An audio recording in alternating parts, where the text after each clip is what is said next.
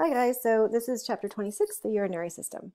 Um, we're going to start talking about the functions. The functions are excretion of your metabolic wastes from the bloodstream. So the key is blood. You are constantly filtering the blood in your kidneys, um, and the kidneys are going to allow uh, the wanted substances in the blood to stay in the blood and all those metabolic wastes. So metabolic wastes are waste from your cells that when your cells are, um, example, your liver, is getting rid of some toxins. Uh, those byproducts of small molecules will travel in your bloodstream and they'll leave, uh, be filtered out at the kidney.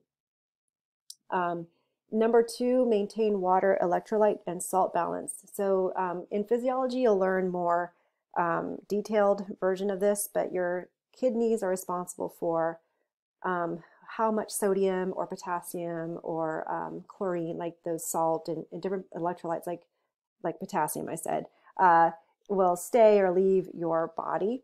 Um, so it has a large deal to manage salt concentration in your body. And um, as we know, salt is related to um, sort of um, holding water in through osmotic pressure. Um, so your kidneys um, can work to also indirectly control your blood pressure because your blood pressure works on how much fluid is in your bloodstream. but anyways, there's a lot of um, a fine little detail of what your kidney does in that water, electrolyte, salt balance. Um, number three, pH, uh, because the hydrogen ion is, uh, you know, what pH is all about. So the more hydrogen ions you have in the blood, the more acidic that um, blood or any fluid is. And so your kidneys are responsible for excretion and absorption, so maintaining the pH balance of your tissues in your bloodstream. So it's a very important job there. Also at the nephron. Um, number four, it secretes a couple of um, important molecules. Renin is a molecule that indirectly leads to an increase of blood pressure. And I'm not going to go into this in any detail. I will talk about in a little bit later on where renin is created but um, there is a pathway called the renin angiotensin pathway that you guys will learn in physiology that um, renin is a necessary molecule to eventually raise your blood pressure. Um, and then letter B, erythropoietin, is a hormone.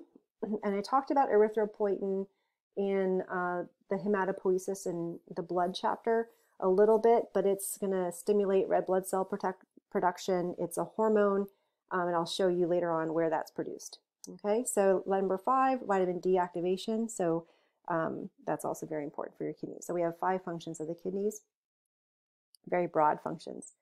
Um, so let's take a look at the um, urinary system.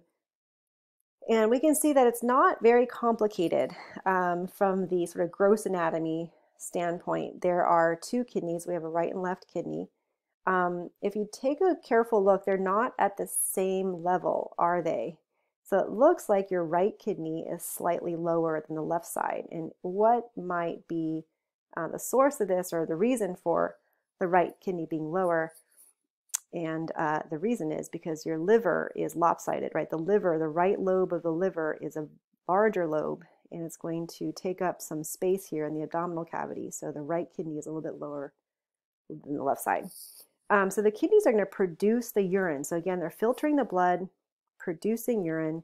The urine will then travel away from the kidney and enter into a ureter. The ureter is a um, tube that carries the urine into the bladder.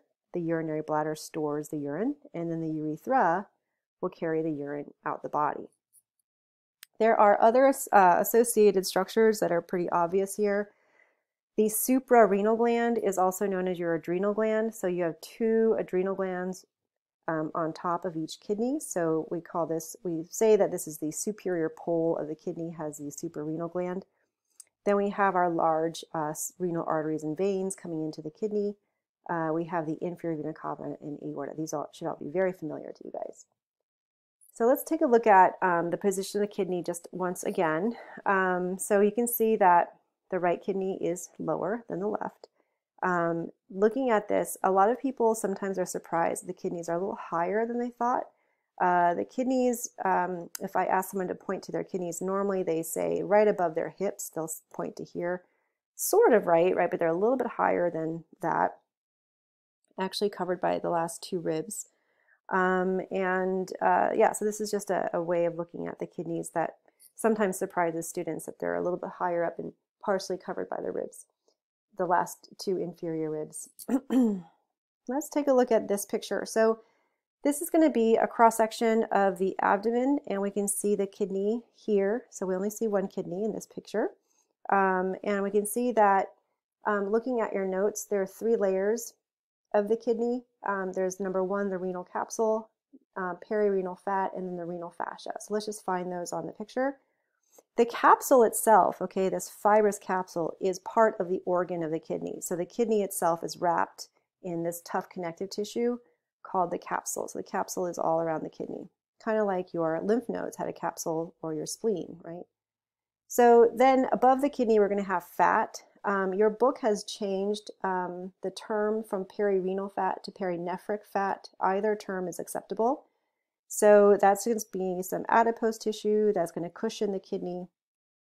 And then we have fascia, right? So if you look at where the line is going, it's going to this white connective tissue here. So the fascia is going to bind the perirenal fat to the kidney and stabilize the kidney in the space that it, is found. So um, you can see the, the descriptions um, in your outline.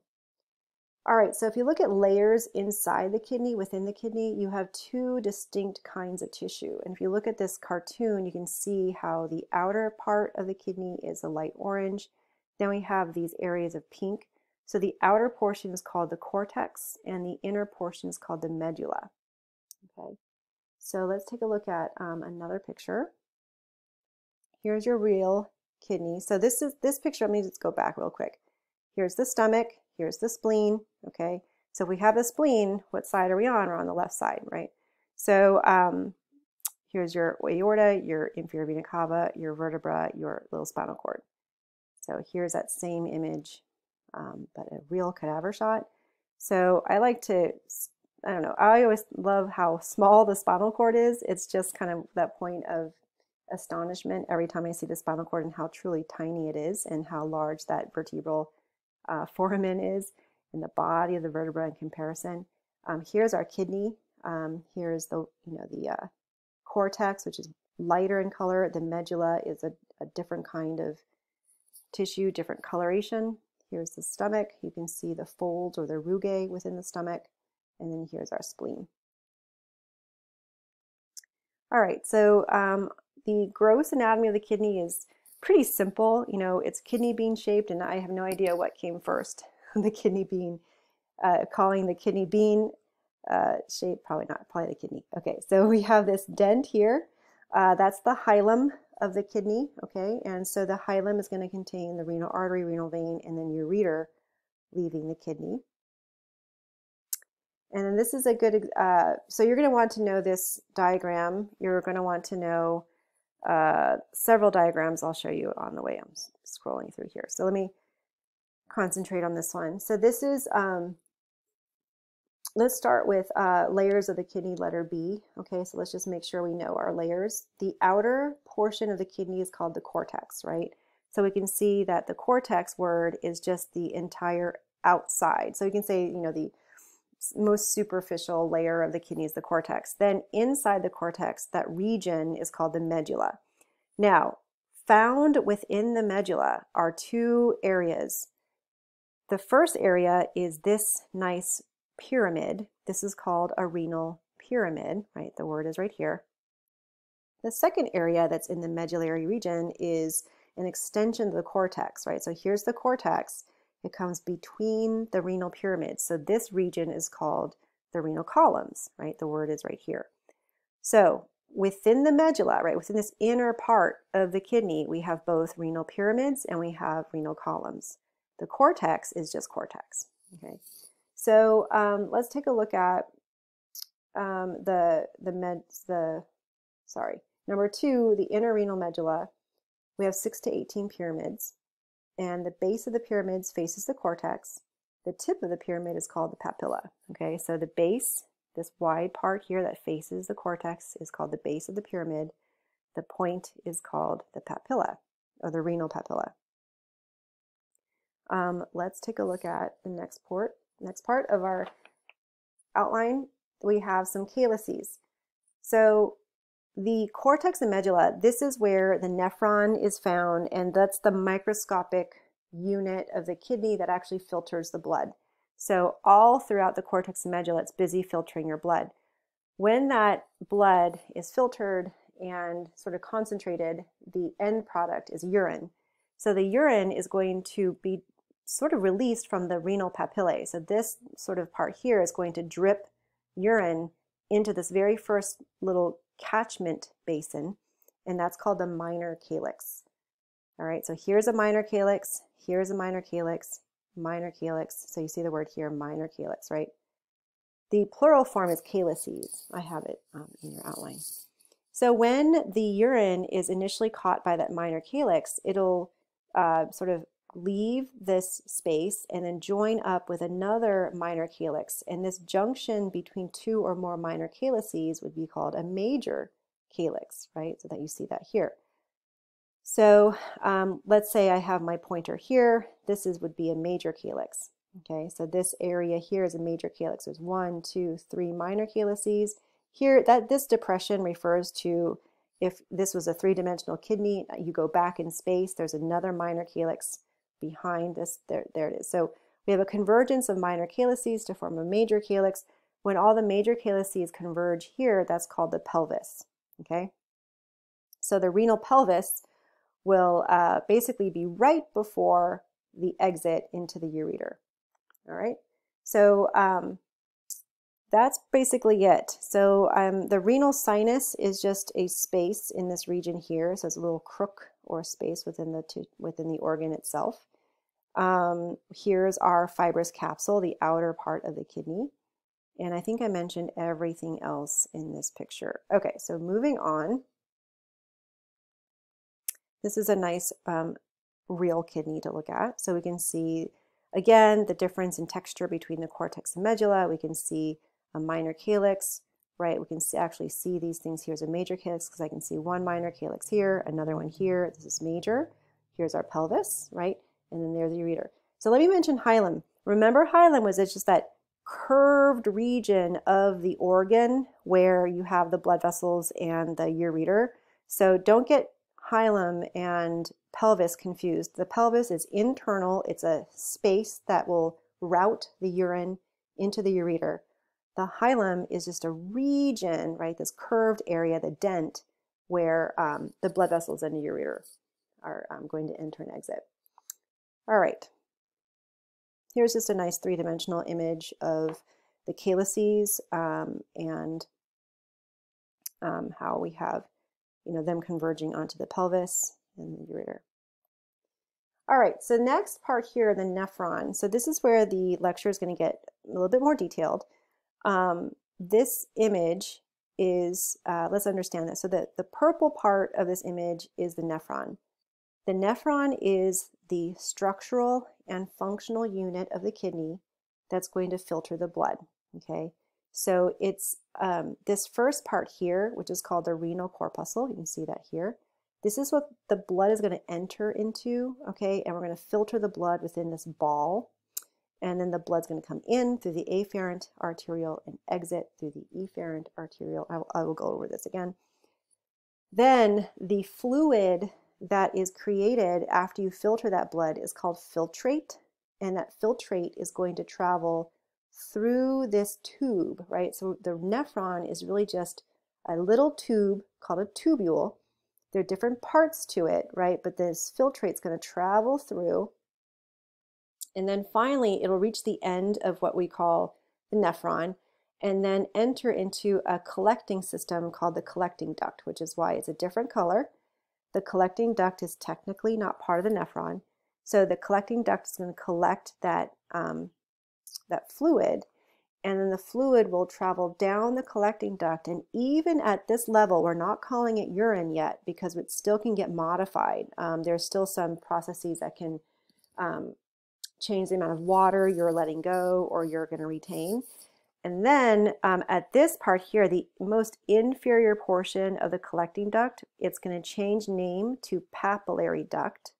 Okay, So the collecting duct is the sort of upper portion. And when it gets down here, it's called the papillary duct.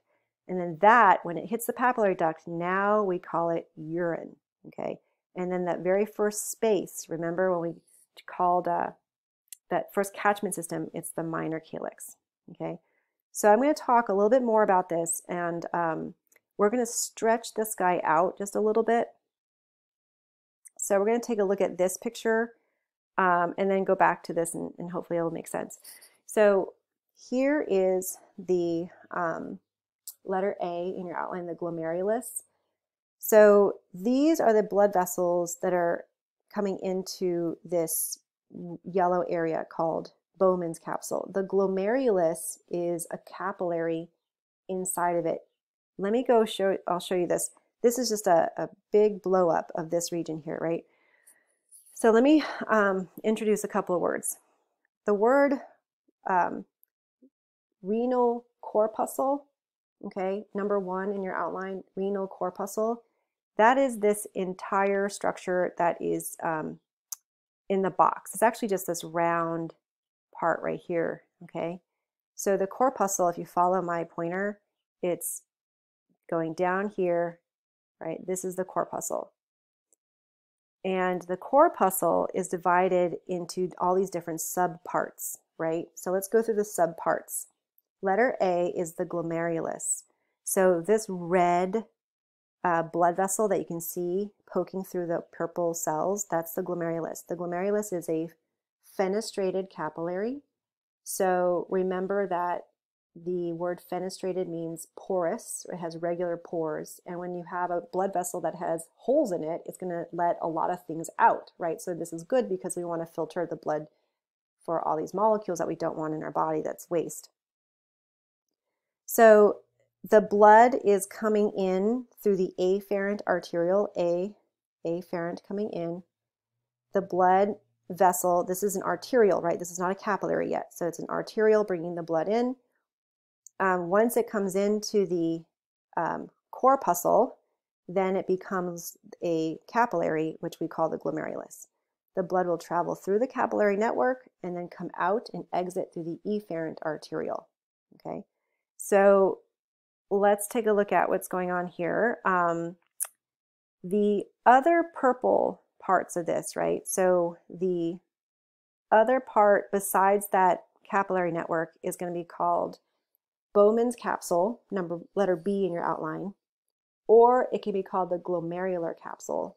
Um, that's what your textbook calls it, the glomerular capsule, although Bowman's capsule is really widely referred to as well. And I, I like Bowman's capsule. I think it just comes off the tongue. It's easier to say than glomerular capsule.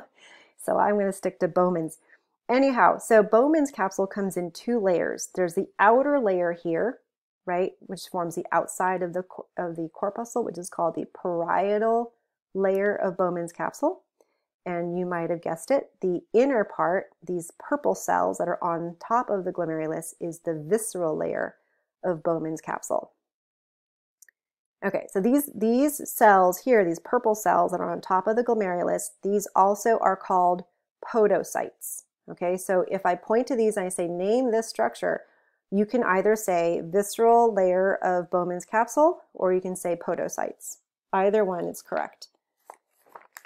Okay, so um, let's just stay here for a real quick. So now notice that there's a space right? There's a space. Is going to be the capsular space. This is sometimes also referred to as the subcapsular space or Bowman's space. Okay, so lots of words, but it's the space. And this space is going to collect the filtered fluid from the bloodstream. So the blood comes in, uh, waste and fluids are filtered out and they're caught in this capsular space. This fluid is called filtrate. Okay, so you can find the word filtrate under letter A of glomerulus. So the filtrate is going to then get routed out through um, this very first exit, which is going to be the very first part of the nephron here, which is going to be called the proximal convoluted tubule. Okay, PCT for short, but if you are typing this out on your test or writing it out on the test, you have to put proximal convoluted tubule. Um, So uh, basically, right, so let's take a look here. There's our glomerulus, this yellow part, that's going to be our, our Bowman's capsule. This is the proximal convoluted tubule. And the proximal convoluted tubule is named that way because it's next to, or the very first structure that the filtrate comes into. Um, I'll mention that the filtrate changes name once it becomes gets into the tubes. It's called tubular fluid. Um, so that fluid is going to move through the proximal convoluted tubule. What convoluted means is that it's um, it's windy, right? It's folded up, and so that's that. And then it comes down. It forms a loop. So there's a this is called the nephron loop or the loop of Henle. Okay, I, I like the loop of Henle, it's what I learned, but nephron loop is fine. Um, you can see there's thick parts of the loop, there's thin parts of the loop, um, but those are not important for us right now. Um, let's just call this the descending limb, right? So everything where the filtrate goes down, or so the tubular fluid goes down, is called the descending limb of the loop of Henle. When it comes back up, it's the ascending limb of the loop of Henle. Then we come to another convoluted region, and this is going to be called the distal convoluted tubule, right? It's going to be opposite the proximal. The distal convoluted tubule is another tube, so it's going to wind, and then uh, all through the nephron, all through the PCT, the loop, the DCT, the water, the filtrate is getting modified and then we're reaching into the collecting system, right? So the collecting duct is next. The collecting duct becomes the papillary duct. The papillary duct then releases into the minor calyx, okay? So I want to show you something. Um, there is a dotted line here. Everything above the dotted line is found in the cortex of the kidney. Everything below the dotted line is found in the medulla of the kidney. And that's important. So we're going to look at histology. And uh, so when you look at histology, only the cortex, you'll find these renal corpuscles, you're going to find PCT and DCT sections, and then only in the medulla, you're going to find these loops. Okay? Um, let's go and look at the filtration membrane. Okay, so letter C. All right, so when you are filtering the blood. Just like if you're filtering coffee, right? You have a coffee filter, you have this piece of paper that holds back the coffee grounds and lets the water go through, right? And the smaller molecules go through. So that's what your kidney does. Your kidney has a filter, but this filter is made of three parts and they're organic molecules, right? So let's take a look at the three parts of the filtration membrane which is A, the fenestrated glomerular endothelium, which is basically saying it's the capillary's wall, right? The capillary endothelium. Of course, because if you're a little piece of uh, metabolic waste inside the blood vessel and you're trying to move out, right, the first thing you're going to encounter is basically the wall of the capillary itself. So that's that. So um, only substances that are allowed through those fenestrations or they're small enough that they can permeate right through the membrane, those are going to exit. This is going to block the passage of any of the cells, right? So red blood cells, white blood cells, those are not going to be filtered out. They're too big. Now, the next thing you're going to come across is the basal lamina. And that should make sense because remember that we learned that anytime you have epithelial cells, you're going to have a basal lamina um, we also called the basement membrane, right, which is a bunch of little molecules, and they're going to block proteins. So now we're hitting this wall where it's going to be basically full of these, you know, the basement membrane is not going to allow large proteins to go through. So things like albumin, for example, or your clotting factors, they're not going to get wasted in your urine. You're going to keep those in the bloodstream. Those are bigger proteins. Then you're going to find the last barrier are filtration slits. This is where the podocytes come in. So those purple cells that are on top of your glomerulus, those cells had foot processes. Let me show you that picture again, right? So look how these cells have these stringy like extensions of themselves. Those are called uh, foot processes. And the slits between them right? Those are called filtration slits. So the filtration slits or filtration slits between the processes of the podocytes is a, a third barrier. So the molecules will also have to fit through those little filtration slits, okay? And these are gonna block the passage of almost all of your plasma proteins. So urine, right, if you have healthy urine, you have a healthy kidney, nothing, there should be no proteins, no big proteins in the urine. There should be no red blood cells or white blood cells in the urine. Um, so if you find that a person has albumin in their urine, that means that there's something wrong with their kidney because this filtration membrane has been compromised, right? It's like punching a hole through your coffee filter. If you're going to get grounds in your coffee, you're like, oh, something was messed up with my filter. It's the same thing here, right? So your, your kidney is getting damaged. There's something going on with the filtration membrane.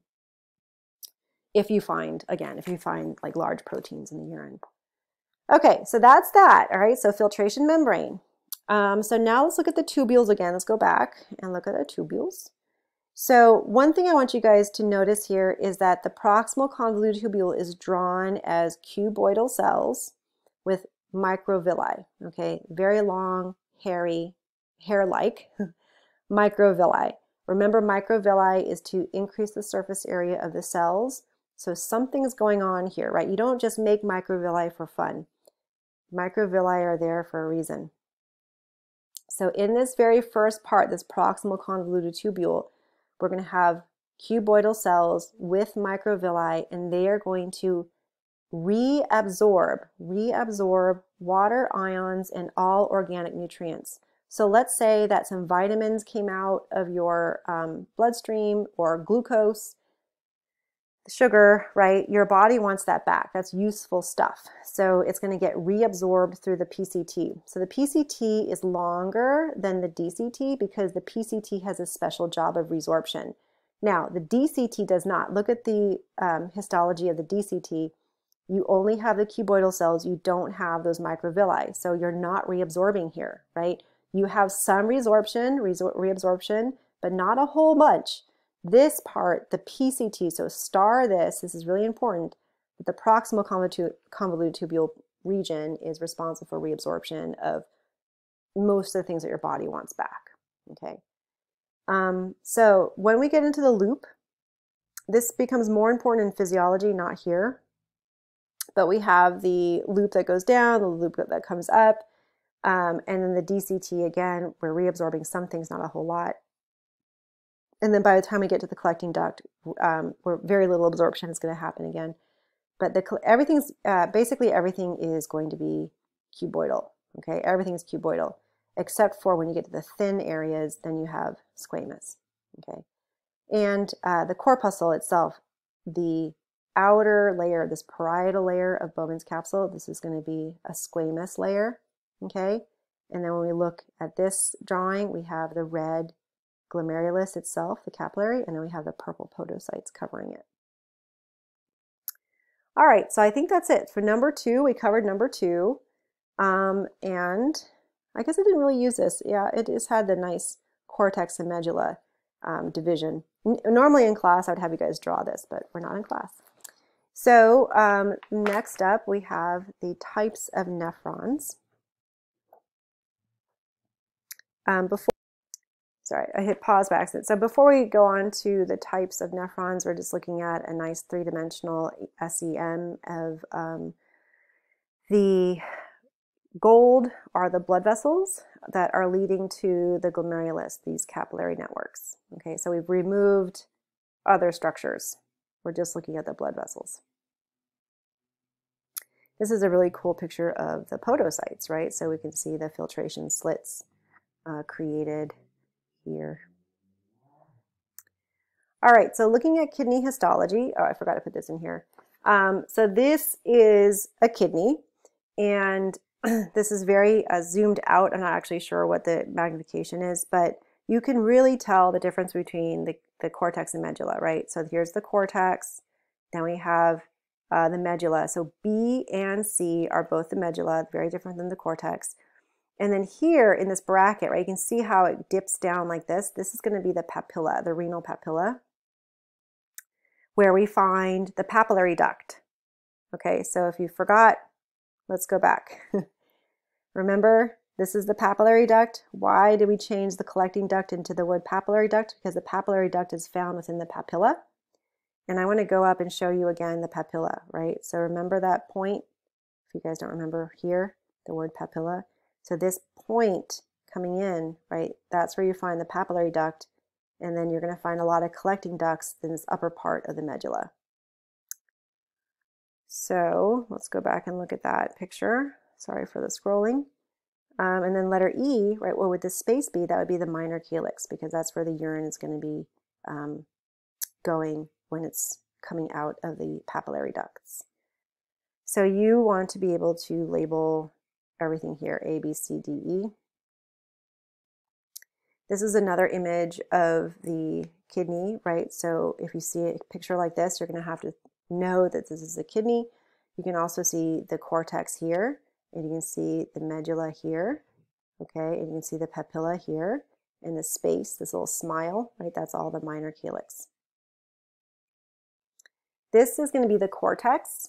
So what's really going to tell you it's the cortex is the uh, corpuscles. Remember the word renal corpuscle is going to have Bowman's capsule plus the glomerulus inside. So it's going to look like a little flower uh, I don't know if it looks like a flower or a rose or some kind of structure to you. Whatever it looks like to you, that's what it is. So uh, that's your renal corpuscle, this term here. Now, inside the renal corpuscle, right, we have the glomerulus. So this wad of cells, that's our glomerulus. Of course, it's the glomerulus plus the podocytes. However, I just simplified it for you and just called the glomerulus. Um, then we have this space, right? Bowman space. That's the little crack of white you see here. That should be pretty obvious. And then PCT versus DCT. So how can you tell uh, proximal convoluted tubule versus distal convoluted tubule? Well, the one huge anatomical difference is the microvilli. What that does is traps uh, substances and um, in the PCT. And when you look at this slide, you don't see a whole lot of spaces, right? You see areas that are sort of light pink that if you look at the cells, so if you look here, I can see some cells making like a little circle and the inside is all pink. The inside's all pink. Those are proximal convoluted tubules. There's areas of here that are all proximal con, this is all proximal convoluted tubule. If you see a lumen, aha, here for example, here for example, here. Those are DCTs, distal convoluted tubules, because there's no microvilli that's um, coming into the lumen. It's going to be clear. The cuboidal cells are also a little shorter, so you're just going to have more of a clear lumen. Another trick is that the PCT, for some reason, stains more light pink, whereas the DCT picks up a darker stain. Okay, so let's take a look at our close-up histology slide. This is going to be our space, right? This is going to be our glomerulus. So I'm not going to worry about the podocytes. You don't need to worry about that. Just call this glomerulus. you can see very clearly the parietal layer of Bowman's capsule. you can see the DCT here, and here's another DCT, and then you see how the PCT, it looks like there's stuff inside. This one over here too is a PCT. So proximal convoluted tubules are going to be um, there's just going to be gunk inside of them, okay? So DCTs are clear, PCTs have substances inside.